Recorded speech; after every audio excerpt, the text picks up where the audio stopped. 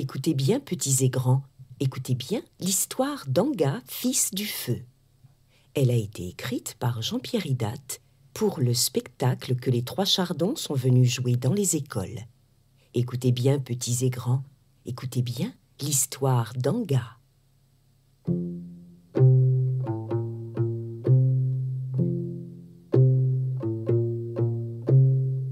C'est au temps de la préhistoire, il y a très longtemps, que vivait Anga. En ce temps de la préhistoire, les hommes ne savaient pas comment faire le feu qui brille dans la nuit.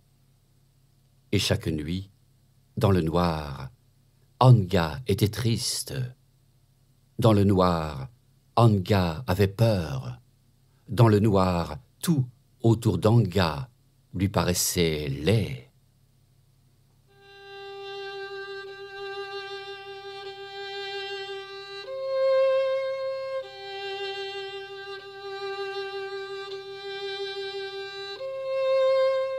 Et pourtant, depuis toujours, trois belles flammes chantaient et dansaient sans jamais s'arrêter, tout en haut du grand volcan.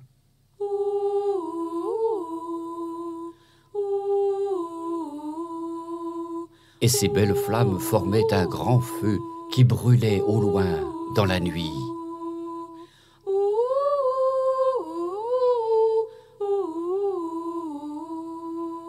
Hélas, les hommes de la tribu d'Anga ne voulaient pas monter sur le volcan pour y chercher le feu. Ils craignaient trop le grand maître du feu, qui grondait à son sommet, tout bouillonnant de braises rouges. Mais Anga ne voulait plus être triste dans le noir. Il ne voulait plus avoir peur dans le noir. Il ne voulait plus que tout dans le noir lui paraisse laid. Un jour donc, Anga se décide. Un jour, seul, Anga quitte sa tribu pour monter sur le volcan et demander un peu de feu au grand maître du feu.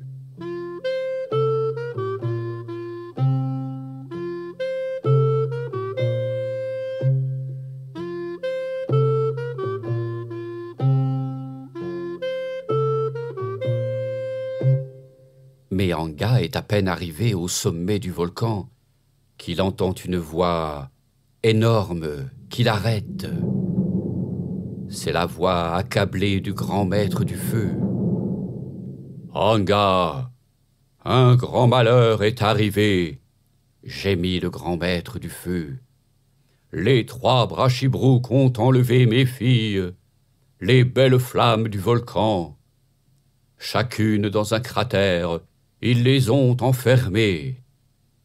Anga, si mes filles ne reviennent pas bien vite auprès de moi, alors elles perdront toute leur force, et puis elles s'éteindront. Et dans le noir, les brachibrouques deviendront les maîtres de la nuit. Et dans le noir, la tristesse, la peur et la laideur régneront pour toujours tout au long des longues nuits. Sans hésiter, alors, Anga s'élance vers le premier cratère des Brachibrouques.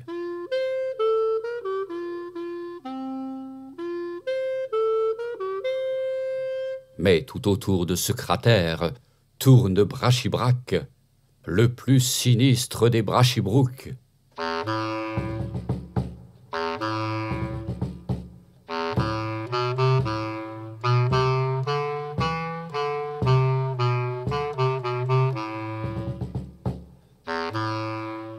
Tout autour du cratère, il veille et il attend. Car Brachibrac le sinistre n'aime que la tristesse au milieu des nuits noires. Et du sombre cratère s'élève la voix faible de la fille du feu qui, lentement, s'éteint.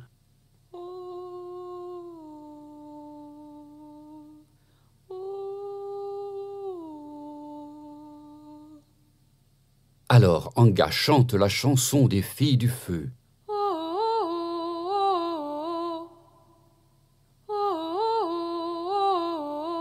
Et la fille du feu, en entendant Anga, lui répond en chantant.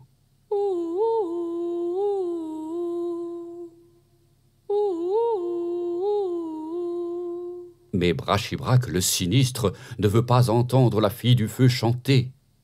Pour l'en empêcher, au-dessus du cratère, il se penche. Mais la fille du feu, entraînée par Anga, continue de chanter.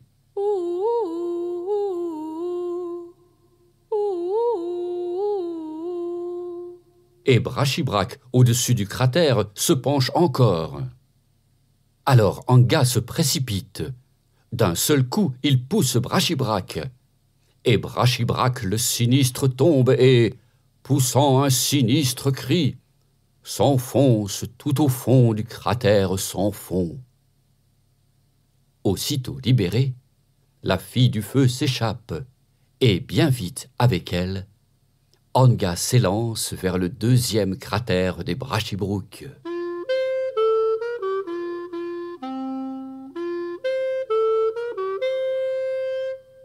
Mais tout au bord de ce cratère se dresse Brachibroc, le plus terrible des Brachibrook.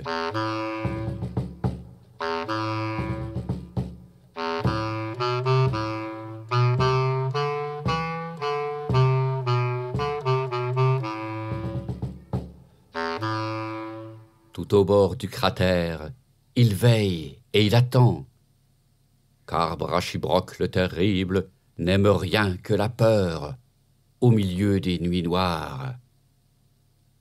Et du sombre cratère s'élève la voix faible de la fille du feu qui, lentement, s'éteint.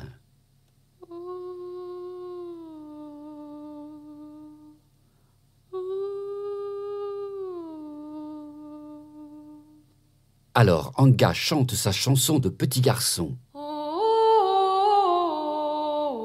Avec courage, il la chante bien fort face aux grandes roches de la montagne. Et les grandes roches de la montagne, en écho, lui répondent bien fort, comme cent Anga rassemblés. Et Brachibroc le terrible entend ces cent Angas qui chante et qui s'approche. Et Brachibroc prend peur. Alors Anga chante plus fort. Et les grandes roches de la montagne, en écho, lui répondent encore plus fort. Et Brachibroc le terrible a terriblement peur de tous ces Angas qui chantent et qu'il ne voit pas. Il a tellement peur que, pour leur échapper, il saute et, poussant un terrible cri, s'enfonce tout au fond du cratère sans fond. Aussitôt libérée, la fille du feu s'échappe, et bien vite avec elle, Anga s'élance vers le troisième cratère des Brachibrook.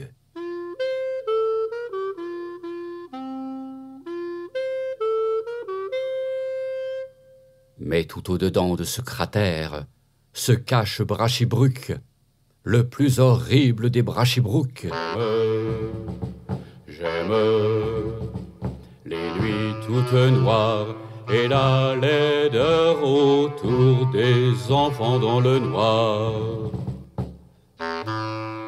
Tout au-dedans du cratère, il veille et il attend, car Brachibruc l'horrible n'aime que la laideur au milieu des nuits noires. Et du sombre cratère s'élève la voix faible de la fille du feu qui, lentement, s'éteint.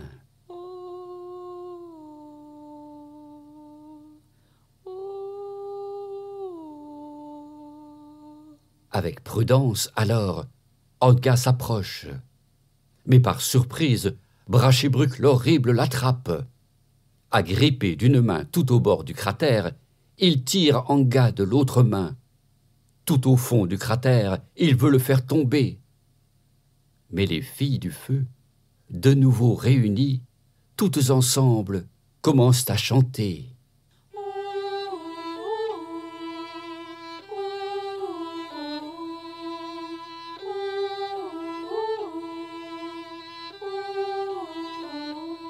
Et leur chant est si beau que Brachibruc l'horrible ne peut le supporter.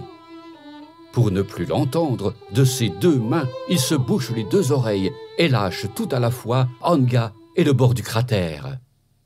Et Brachibruc l'horrible bascule et, poussant un horrible cri, s'enfonce tout au fond du cratère sans fond. Alors, tout en chantant, les trois filles du feu montent sur le volcan pour retrouver enfin le grand maître du feu. Et tout en chantant, Anga les suit.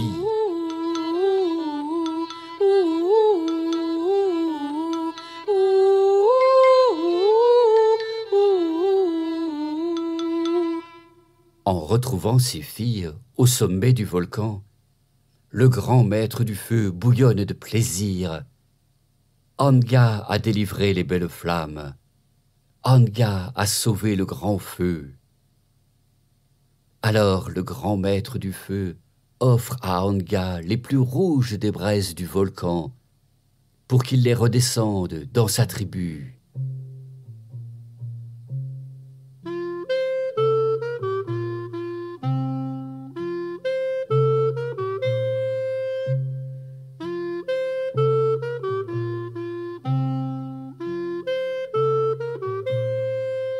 Et dans sa tribu, Anga souffle sur ses braises, et de ces braises monte un grand feu qui brille dans la nuit.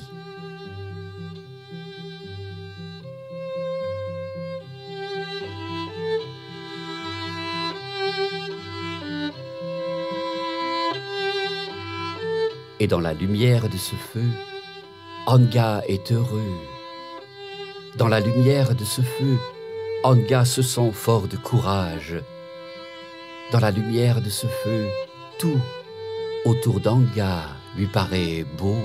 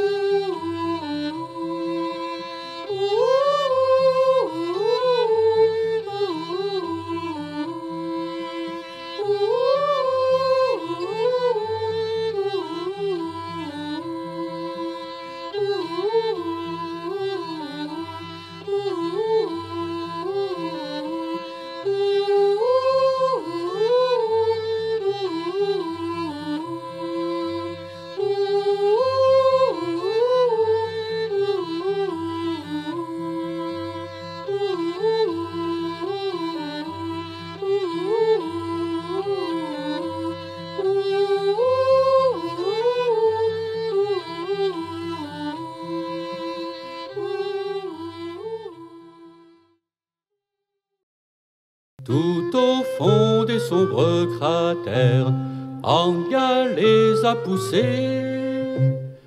Les filles du feu, il a sauvées. Les filles du feu, il a sauvées.